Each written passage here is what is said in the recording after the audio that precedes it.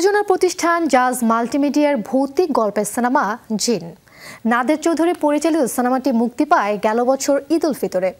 এবার ঈদ উল ফিতরে মুক্তি পাচ্ছে মোনা জিন্টু। সত্য ঘটনা থেকে অনুপ্রাণিত হয়ে তৈরি সিনেমাটি জামালপুরের এক বাড়িতে ছিল জিনের উৎপাত। জিন কেন করে উৎপাত? কি চায় সে? সে কি কারও ক্ষতি করবে নাকি অন্য কিছু। এইসব প্রশ্নে এগিয়ে নিয়ে যাবে সিনেমার গল্প। আজ আমাদের সাথে অতিথি হয়ে আছেন মোনা জিন্টুয়ের পেছনের মূল কারিগর চলচ্চিত্র প্রযোজক আব্দুল আজিজ এবং আছেন এই সিনেমার চিত্রনায়িকা সামিনা বাসার। দুজনকেই সান্ডেলিনার শুভেচ্ছা নাইটে ওয়েলকাম করছি। কেমন আছেন? ভালো আছি ইনশাল্লাহ আপনাদেরও শুভেচ্ছা। সামিনা কেমন আছেন? আলহামদুলিল্লাহ অনেক ভালো। আপনি কেমন আছেন? এই তো ভালো আছি। আজিজ ভাই দেখতে দেখতে তো মুক্তির তারিখ ঘনিয়ে আসছে মোনা জিন্টু। প্রচারণা কেমন চলছে? প্রচারণা করতেছি আমাদের মতো যতখানি সম্ভব। এটা তো আসলে প্রচারণাটা দর্শকদের দর্শকরাই করে মেনলি তো প্রচার ইনশাল্লাহ ভালো পাবলিকের খুব ভালো দর্শকের খুব ভালো সারা পাচ্ছি এটা হলো মেন ব্যাপার।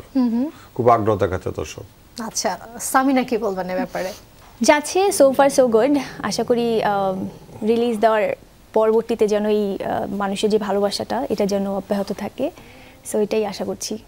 আজিজ ভাই, মোনা জিন্টুর কি শুরুর গল্পটা আমরা জানতে পারি? কীভাবে শুরু হয়েছে? মোনা জিন টোটাল কোভিডের সময় মেবি লাইক দ্যাট আর কোভিডের আগে, পরে এরকম একটা কিছু হবে। তো আমি প্রথম আলোতে একটা নিউজ পড়তেছিলাম। আমাদের বাসায় প্রথম আলো রাখে, প্রথম আলো নিউজের ভিতরের পাতা একটা নিউজ পড়ছিলাম ওই ভিতরের পাতায় ছোট্ট একটা নিউজ ছিল। জামালপুরের এক বাসায় জিনের উৎপাত। তারপর তারা মাদ্রাসাকে এটা ভাড়া দেয়। ভাড়া দেওয়ার পরে মাদ্রাসার মাদ্রাসা ওরা কেউ থাকতে পারে না জিনের উৎপাতে। ওই জিনিসটা আমার ভালো লাগে এবং ওইটা বেস করে আমি একটা তখন একটা গল্প ওই সময় একটা গল্প লেখা শুরু করি। ওই গল্পটাই আমার আসলে গল্প, সব গল্প অনেক আগে লেখা থাকে। জিন ওয়ান, টু, থ্রি, ফোর, চারটা, থ্রি, ফোর মানে সামনের বছর যেটা করব, দুই হাজার পঁচিশেরটা এবং দুই হাজার ছাব্বিশ। এই পর্যন্ত গল্প লেখা শেষ আছে আমার। গল্প লেখা শেষ। তো আমার গল্প লিখতে সাধারণত ছয় দিন লাগে। তো বসটি লেখা হয়ে যায় ছয় দিনে। তো ওই মনে ওইটা লিখে রাখছিলাম। ওই পর থেকে জিন ওয়ান করলাম। জিন ওয়ান করার সাকসেস হওয়ার পরে এটা আরও আগ্রহ বেড়ে যায়। তারপর এই জিন টুর দিকে আসলাম। আমি মনে হয় একটা মানে হরর ইউনিভার্সের দিকে যাচ্ছি। বাংলাদেশে একটা হরর ইউনিভার্স তৈরি করব। আচ্ছা বাংলাদেশে কিন্তু হরর সিনেমা খুব একটা দেখা যায় না। এখন এখন হবে মনে করি যে সফল জিন ওয়ানের সাফল্য জিন টু সাফল্য আগে আগে বাংলাদেশের যারা হরর করতো যারা হরর করে আগে যা যা করছে বা করবে হরর দেখা যায় না তা না। গত দশ বছরে তিন চারটা হরর ছবি হয়েছে। কিন্তু কোনটা সফল সংখ্যায় খুবই কম। সংখ্যা কম কারণ সাফল্য পায়নি সাফল্য না পাওয়ার পিছনে কারণ মেন কারণটা হইল ওরা আমাদের যারা গল্পটা তৈরি করে তারা আমাদের ধর্মীয় এবং সামাজিক আমাদের পারিপার্শ্বিক যে আমাদের হরর যে ব্যাপারটা আছে, তারা তার ধারে কাছে যায় না। তারা অন্য দেশের, অন্য কালচারে চলে যায়।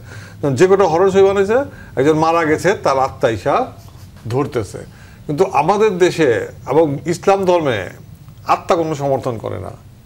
কারও আত্মা আসতেছে এখানে শুনবেন না। কারও আত্মা এসে ভর করছে, এটা আপনার কখনো শুনবেন না। জিনে ধরছে, এটা শুনবেন। সো ওই যে আত্মা এসে ভর করে, এই কনসেপ্ট ছবি বানাতো যেটা ইন্ডিয়ান কালচার কারণ হিন্দু ধর্মে আত্মা ধরতে পারে মেনলি বৌদ্ধ ধর্মে আত্মা আসতে পারে কিন্তু মুসলমান ধর্মে কোনো আত্মা আসবে না। সো এই কনসেপ্টের উপর ভর করে ওরা ছবি বানাচ্ছে যাদের কারণে চলে যে আত্মা নিয়ে কেউ ছবি করে বাংলাদেশে সেটা চলবে না। বাংলাদেশের মানুষ আত্মার ব্যাপারটা বিলিভ করে না বা জিনের ব্যাপারটা বিলিভ করে। এই জন্য তারা সফল হয়নি, আমাদের জিনটা সফল হয়েছে। চমৎকার। আসলে মোনা, জিনটু রিলিজ হওয়ার পরে বুঝতে পারা যাবে আসলে কতখানি এটা আসলে সফলতা পাচ্ছে। তো সামিনা বাসার কীভাবে যুক্ত হলেন মোনা জিন্টুর সাথে? একটু ছোট্ট করে যদি শেয়ার করেন। এটা আমি আসলে সবসময় বলি I always wanted to work with Jaaz Multimedia I always wanted to become a part of Jaaz family আমি যখন স্টুডেন্ট ছিলাম তখন থেকে অ্যাকচুয়ালি আমি জ্যাজের পেজ জ্যাজের কাজ এগুলো ফলো করতাম। সো আমার কাছে মনে হয় যে জ্যাজ এমন একটা প্রতিষ্ঠান যেটা নিউ কামারদেরকে আসলে কাজে হেল্প করে এবং তাদের concept everything is like different যেমন এই সিনেমাটা দেখেন, আপনারা জিন দেখলে, জিন টু দেখলে বুঝতে পারবেন যে এটা অ্যাকচুয়ালি কিন্তু ডিফারেন্ট মুভি যে আমাদের গতানুগতিক যে মুভিগুলো হয়ে থাকে তার থেকে অনেক ডিফারেন্ট সো আমার কাছে মনে হয় এদের যে গল্প কখনো দেখেন নাই শুনেন নাই কেউ? হ্যাঁ। সো এইটা কারণ। আর আমার কাছে মনে হয় যে দিস ইজ লাইক উনি যে কাহিনীটা তুমি কেন জাজ বানাবে আছে তো তোমার শুরু থেকে বাসাতে পালানো মেট্রিক পরীক্ষার পর থেকে বলো। ওইটা এটা তো বলো। তো বলব। হ্যাঁ ওটা বলো মেট্রিক পরীক্ষার পর বাসায় নিয়ে গেছে আমার ইন্টার পর আমার বাসায় নিয়ে গেছে। হ্যাঁ মানে বলো। এইরকমই আর কি। I was a crazy girl back then আমি সবসময় যে যে কাজ করতে চেয়েছিলাম এই জন্য বাসা থেকে বহুবার আহ, ও ম্যাট্রিক পরীক্ষার সময় বাসাতে পালার স্টেশনে চলে আসছে। যা যে আসবে বইলা। তারপর বাসা থেকে স্টেশনে ধরে নিয়ে গেছে। ওরা বলছে তুই ইন্টার পাস করো। আর একটু বড় হও। একটু বড় ইন্টার পাস করো তখন হবে। সে ঠিক আছে সে মনোযোগ দিয়ে লেখাপড়া করছে ইন্টার পাস করে খুব ভালো রেজাল্ট করছে। ইন্টার পাস করার পর তাকে আবার আসতে দেয় না। সে আবার পালাইছে না? আবার পালায় আবার এবার কি স্টেশন থেকে বাসার থেকে? না এইবার আমাকে বাসায় ব্যাক করে নিয়ে একদম পুরো দেশের বাইরে আমাকে পাঠিয়ে তারপর দেওয়া হয়। তাকে বাইরে দেশের বাইরে মানে পাঠানো এমন স্টাডি করার জায়গাতে আমাকে আসলে পাঠানো হয়েছিল যেখান থেকে আহ, বেকার উপায় না আর ব্যাক করার উপায় ছিল না। এবং আমি হস্টেলে ছিলাম অনেক গার্ডের মধ্যে ছিলাম। সো পাঞ্জাব কিন্তু অ্যাকচুয়ালি এখান থেকে অনেক দূরে। চণ্ডীগড়ে করে আমি ছিলাম। তারপর যখন এক পর্যায়ে একটু ম্যাচিওর হলাম তখন আর কি কিছু বলেনি আর কি। সো আমি ওখান থেকে আসার পরে আই গেভ অডিশন আমার এখনও মনে আছে আজিজ ভাইয়ের বড় মেয়ে আহ, মোহ আমার ইন্টারভিউ নিয়েছিল। অ্যান্ড আমি কোনোভাবে মানে ইন্টারভিউটা ভালো মতো দিয়েছি বাট ওই সময়টা জানতাম না যে জিনের জিন টুর জন্য আমাকে সিলেকশন করা হয়। আহ, এটা পরবর্তীতে জানলাম আর কি। আহ, তো এইভাবেই আর কি। সো এটার আসলে লাইন আপ থেকে শুরু করে একদম শুটিং শেষ হওয়া পর্যন্ত কিন্তু আমি এটার সাথে আমার হান্ড্রেড। পার্সেন্টটা হ্যাঁ ইনভলভ ছিলাম। হান্ড্রেড পার্সেন্টটা দিয়েছি। আচ্ছা আজিজ ভাই অনেক নায়িকাকে নিয়ে প্রায় অনেক রিমার শোনা যায়।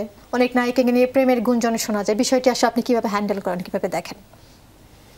না, আমি এনজয় করি ব্যাপারটা। ব্যাপারটা এনজয় করি।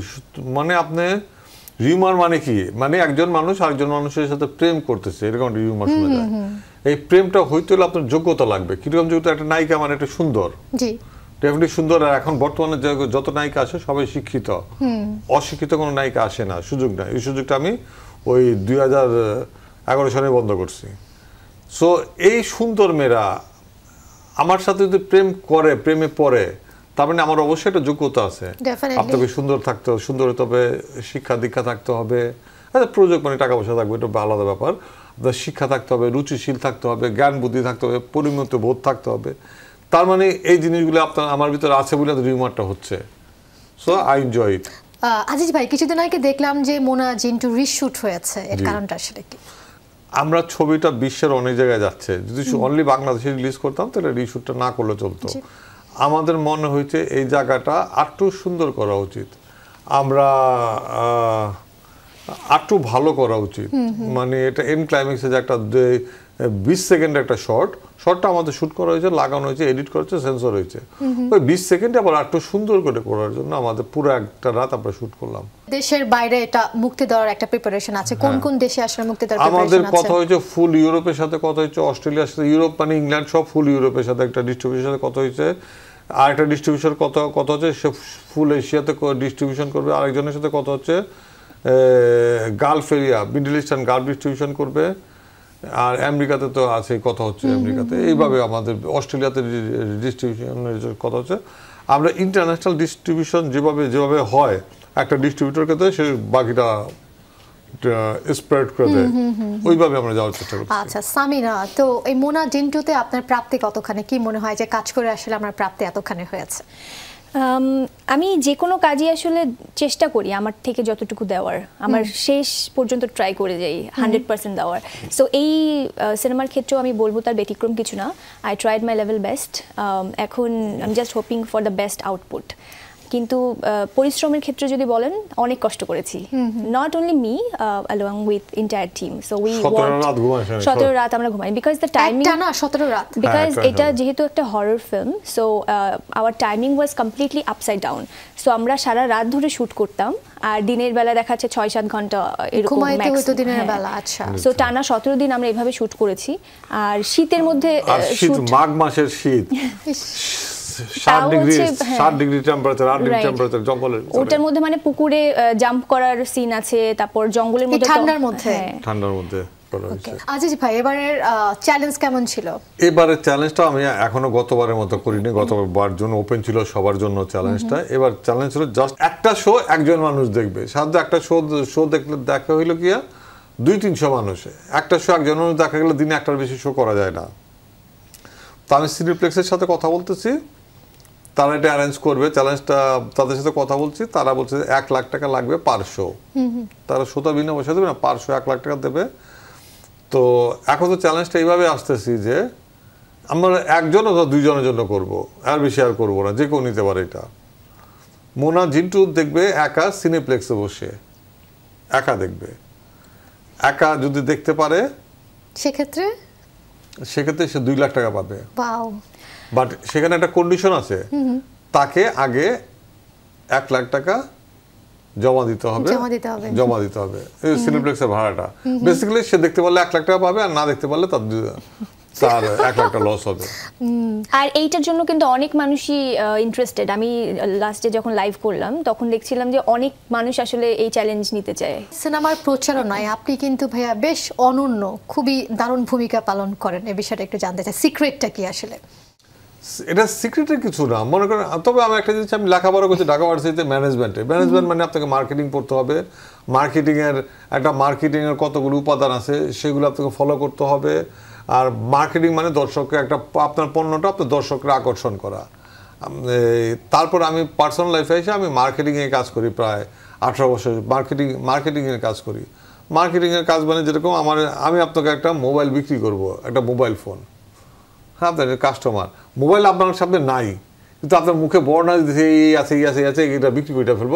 বিক্রি করে আপনাকে টাকা নিয়ে আসছে পড়ব এটা হলো মার্কেটিং সো মনে করেন এই যে একটা মনে করেন এই পাঞ্জাবিটা আছে। এই পাঞ্জাবিটা যে আপনার বলছি যে আপনি এই পাঞ্জাবিটা দুই লাখ টাকা বিক্রি করে নিয়ে আসেন পারবেন? পারবেন না।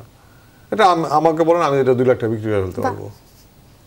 হ্যাঁ হয়তো আমি এই ইয়ে যাব কোন একটা স্টারের ইয়ে সাইন নিয়ে আসলাম। দেখুন এটা দাম দুই লাখ টাকা হয়ে গেল। আচ্ছা সামিনা এবার ঈদে তো অনেক সিনেমাই আসছে। তো এত সিনেমার ভিড়ে মোনা জিন্টু আসলে কি তার অবস্থান ধরে রাখতে পারবে বলে কি মনে হচ্ছে? আমার কাছে মনে হয় এখনকার যে অডিয়েন্স তারা ডিফারেন্ট মানে কন্টেন্ট দেখতে পছন্দ করে ডিফারেন্ট স্টোরি দেখতে পছন্দ করে। তো সেই ক্ষেত্রে আমার মনে হয় জিন একটা পারফেক্ট মুভি হবে, যেটা আসলে মানুষ পরিবার সহ হলে গিয়ে এনজয় করতে পারবে। আর এখানে আমার কাছে মনে হয় যে সিনেম্যাটোগ্রাফি পিকচারাইজেশন আপনি যেটাই বলেন না কেন অ্যান্ড আমাদের পুরা টিমটা আসলে অনেক হার্ডওয়ার্ক করেছে। সো এইটা আপনি স্ক্রিনে দেখলে বুঝতে পারবেন। সো আমার কাছে মনে হয় জিন টু মানুষের এই জন্যই দেখা উচিত। আর ঈদে এমনিতেও কিন্তু আপনি যদি আমাকে অডিয়েন্স হিসেবে জিজ্ঞাসা করেন তাহলে কিন্তু আমি প্রত্যেকটা সিনেমা দেখি হলে গিয়ে।